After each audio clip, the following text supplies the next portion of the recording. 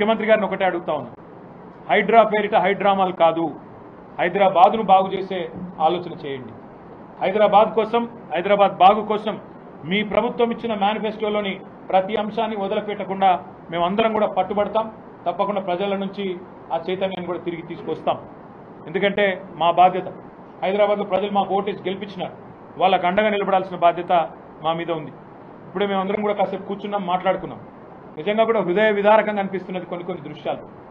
చిన్న పిల్లలు ఏడేళ్ళ పిల్లలు పుస్తకాలు తీసుకుంటామంటే కూడా వారికి ఒక పది నిమిషాలు టైం ఇవ్వకుండా మెడలు బట్టి బయటికి నూకేసి వాళ్ళ తల్లిదండ్రులు వాళ్ళ కళ్ళ ముంగటనే పెట్రోల్ పోసుకుంటే ఆ పిల్లలు ఆ బాధను చెప్తా ఉంటే రేవంత్ సార్ మా ఇల్లుగులో కొట్టిండని చెప్తుంటే వేదశ్రీ అనే చిన్న పాప ఏడేళ్ళ పాప హృదయ విదారకమైన పరిస్థితి కాదా? కస్తూరిబాయ్ అనే ఒక మహిళ ఫుట్పాత్ మీద చెప్పుల దుకాణం నడుపుకుంటుంది దళిత అమ్మాయి అనుకుంటా. ఆమె చెప్పుల దుకాణాన్ని తీసి బుల్డోజర్ పెట్టి అవతల ఎత్తి పారేస్తుంటే నేను అడుగుతా ఉన్నా ముఖ్యమంత్రిని మానవత్వం ఉన్న సర్కార్ చేయాల్సిన పనేనా ఇది? ఒకవేళ ఒక ప్రెగ్నెంట్ అమ్మాయి నల్ల చెరువులో ఏమడిగింది అమ్మాయి? ఆ అమ్మాయిది కూడా వీడియో వచ్చింది. ఏమడిగింది? సామాన్ తీసుకుంటాను ప్రెగ్నెంట్ నేను కొంత సమయం ఇవ్వండి అని అడిగింది. దానికి కూడా నిర్దాక్షిణ్యంగా ఆ అమ్మాయిని బయట నూకేసి కట్టేసి పోలీసులతోని గోడగట్టి అమానవీయంగా. నేను ముఖ్యమంత్రి గారిని ఒకటే అడుగుతా ఉన్నా. ఉన్నాయి. ఒక మా కాదు. స్వాతంత్రం వచ్చినప్పటి నుంచి ఫుట్పాత్ల మీద ఆక్రమణలు జరుగుతూనే ఉన్నాయి. ఎవరుంటారండి ఫుట్పాత్ల మీద? ఫుట్పాత్ల మీద ఓ బజ్జీల బండో ఓ ఇడ్లీ బండో ఒక చెప్పుల దుకాణమో టేలానో నడుపుకుంటోళ్ళు ఎవరు? ఏ దిక్కు లేకపోతే సొంతంగా తమ కాలం మీద తాము నిలబడి నెలకొక పదివేలు సంపాదించుకుంటూ ఉంటారు. వాళ్ళకు నువ్వు తొలగించాలనుకుంటే ఫుట్పాత్ ఆక్రమణలు ఉద్దేశం మంచిదే. కానీ ఏం చేయాలి? ప్రభుత్వం వెండింగ్ జోన్లకు తరలించాలి వాళ్ళని. ఒక వెండింగ్ జోన్ పెట్టి మేము చేసినాం ఇదివరకు. అయ్యప్ప సొసైటీలో అదే సమస్య ఉంటే వెండింగ్ జోన్ పెట్టి అక్కడ షాపులు కొత్తవి కట్టి వాళ్ళని అక్కడ తరలించి ఆడికెళ్ళి తీసేసింది మానవీయ కోణం ఉండాలి. వాళ్ళ నగాదంలో రోడ్డు మీద పడేయదు బలిసిన వాళ్ళ కంటే ఇబ్బంది కాదు. కానీ ఇట్లా పేదవాళ్ళకి ఎవరు దిక్కు ఆలోచించాలని కోరుతా ఉన్నా. వెండింగ్ జోన్లు నిర్మాణం చేయండి. ఆక్రమణలు తొలగించే ముందు వెండింగ్ జోన్లు కట్టి వారికి ప్రత్యామ్నాయ పరిష్కారం చూపెట్టి వాళ్ళని తొలగించండి. అదేవిధంగా ఇంకా విచిత్రం. అసలు ఈ ప్రభుత్వంలో కుడి చేయి ఏం చేస్తుందో ఎడమ చేయి తెలియదు నిన్నగాక మొన్న చూసిన నేను. మూడు రోజుల కింద కోటిన్నర రూ- రూపాయలు పెట్టి రిజిస్ట్రేషన్ అవుతుంది. మూడున్నర రోజుల కింద. మూడు రోజుల కింద. మూడు రోజుల తర్వాత ఇంకో ప్రభుత్వంలోని ఇంకో శాఖ వచ్చి కూలగొడుతుంది. ఇది అక్రమం అని. అంటే కుడి చేయి ఏం చేస్తుందో ఎడమ చేయికి తెలియదా రిజిస్ట్రేషన్ శాఖ రిజిస్ట్రేషన్ ఎట్లా చేస్తుంది? మూడు రోజుల తర్వాత నీ ఇంకో శాఖ వచ్చి ఎట్లా కూలగొడుతుంది? అది నువ్వు ప్రభుత్వాన్ని నడుపుతున్నావా సర్కస్ నడుపుతున్నావా? ఒకవేళ నిజంగానే నీకు అవి ఆక్రమణలు అని తెలిస్తే అది ఎఫ్టీఎల్ అని తెలిస్తే బఫర్ అని తెలిస్తే ముందు పర్మిషన్ ఇచ్చిన వాడి మీద చర్య తీసుకో. కొనుక్కున్న వాళ్ళ మీద కాదు. పర్మిషన్ ఎవరు ఇచ్చిండు ఎట్లు ఇచ్చిండ్రు తప్పు కాయిదాన్ని ఎవడు గుట్టిచ్చిండు వాళ్ళ మీద చర్య తీసుకో. దమ్ముట ఆ పని చేయి. రెండవది ఇప్పుడు ఇల్లు కూలగొట్టినావు. కోటిన్నరకు మొన్న రిజిస్ట్రేషన్ చేసుకున్నారు. ఇప్పుడు ఇల్లు కూలగొట్టినావు. ఎవడు కడతాడా ఆ పైసలు? నష్టపరిహారం ఎవడిస్తాడా కుటుంబానికి? నీ ప్రభుత్వం ఇస్తుందా? బిల్డర్ ఇస్తుందా? ఆ తీసుకున్నాడు మంచినే ఉంటాడు. రిజిస్ట్రేషన్ సొమ్ము నీ ఖజానాలో పడ్డది నువ్వు మంచిగానే ఉంటావు. ఇప్పుడు వాళ్ళు రోడ్డు మీద పడ్డారు. ఎవడు బాధ్యుడు?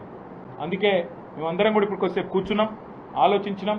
తప్పకుండా హైడ్రా బాధితులందరికీ న్యాయపరంగా మేము మా పార్టీ తరఫున మా న్యాయ విభాగం మా లీగల్ సెల్ అండగా ఉంటుంది. ఎవరికి ఏ ఇబ్బంది ఉన్నా భారత రాష్ట్ర సమితి కేంద్ర కార్యాలయం Telangana Bhavan Banjara hills road number ten twelve మధ్యలో ఉంటుంది. ఆడికి రండి. తప్పకుండా మీకు మా న్యాయ విభాగం అండగా ఉంటుంది లేదా మీ గౌరవ శాసనసభ్యులు గౌరవ కార్పొరేటర్లు అందరూ బీఆర్ఎస్లో ఉన్నారు హైదరాబాద్లో వారిని సంప్రదించండి. తప్పకుండా మీకు న్యాయపరంగా మేము అండగా నిలబడతాం. చట్టాన్ని న్యాయాన్ని గౌరవించాలని ప్రభుత్వానికి న్యాయస్థానం ద్వారానే చెప్పిస్తామనే మాట కూడా నేను విజ్ఞప్తి చేస్తా ఉన్నాను ఇంకొక మాట కూడా నేను అడుగుతా ఉన్నా ఈ ముఖ్యమంత్రిని. ఒక ఒక్క ప్రతిపక్షంలో ఉన్నప్పుడు ఒక మాట ఒక్క ఇల్లు కట్టలేదని మాట్లాడినారు డబుల్ బెడ్రూమ్ ఇల్లు. ఆ రోజు మంత్రిగా శ్రీనివాస్ యాదవ్ గారు ఆయన దగ్గరుండి నేను చూపెడతాను నువ్వు రా అని చెప్పి ఆనాటి శాసనసభా పక్ష నాయకుడు బట్టి విక్రమార్క గారిని తన కారులో ఎక్కించుకొని వివిధ సైట్లు చూపెట్టి చెప్పిండిగో కట్టిన మేము చూడు. అని ఇవాళ అదే ప్రభుత్వం మేము కట్టిన ఇండ్లు. ఇవాళ అదే ఇండ్లను మూసీలో ఇంకో కడ ఇస్తా అంటున్నది. మేము ఒక్కటే అడుగుతా ఉన్నాం. మీరు కేవలం మీద కాగితాలు ఇచ్చి తప్పించుకుంటామంటే కుదరదు. తాళాలు ఇవ్వండి గృహ ప్రవేశాలు చేయించండి. తర్వాతనే వాళ్ళని తొలగించండి. లేకపోతే ఒప్పుకోం. ఎందుకంటే ఇది పద్ధతి కాదు. వాళ్ళని రోడ్డు మీద పాడేస్తాం. కట్టిన ఇల్లు రెడీగా ఉన్నాయి కదా. ఒక కొల్లూరులో పదహారు వేల ఇల్లు రెడీగా ఉన్నాయి. మేమే కట్టినాం. మీకు వడ్డిచ్చిన పల్లెంలో బ్రహ్మాండంగా పంచపక్ష ప్రమాణాలు పెట్టి నీ చేతిలో పెట్టినాం. చేతనైతే వాళ్ళ గృహ ప్రవేశాలు దగ్గరుండి మీ అధికారులతో చేయించు. అంతేగాని అమానవీయంగా మళ్ళొక అమ్మాయి పుస్తకాలు తీసుకుంటా అంటే నూతి పారేసుడు. ఇంకో ప్రెగ్నెంట్ లేడీ. నేను సామాన్లు తెచ్చుకుంటా అంటే నూతి పారేసుడు. మీ ప్రభుత్వమే రిజిస్ట్రేషన్ చేసుడు మీ ప్రభుత్వమే కూలగొట్టుడు ఈ చిల్లర పనులు బంద్ చేయమని చెప్పి ముఖ్యమంత్రికి నేను విజ్ఞప్తి చేస్తా ఉన్నా. ఇంకొక మాట కూడా నేను చెప్తా ఉన్నా. మా ప్రభుత్వం ఉన్ననాడు మేము మాట ఇచ్చినాం. లక్ష కట్టినాం మరొక లక్ష కడతాం. అవసరమైతే ఇంకా ఇల్లు కూడా హైదరాబాద్లో పేదలందరికీ ఇస్తామని చెప్పాం. ఒక లక్ష మేము ఇచ్చినాం. నీకు చిత్తశుద్ధి ఉంటే రేవంత్ రెడ్డి హైదరాబాద్ భూములు అమ్ముతున్నావు. ఇప్పుడే తెలిసింది మా కుక్కట్పల్లిలో కూడా హెచ్ఎండిఏ భూముల మీద కన్నేసినాడు తొందరగా అమ్ముతాడని తెలిసింది. నీకు చిత్తశుద్ధి ఉంటే ఇక్కడి భూముల అమ్మకాల ద్వారా వచ్చే పైసలు ఇక్కడే ఖర్చు పెట్టాలి.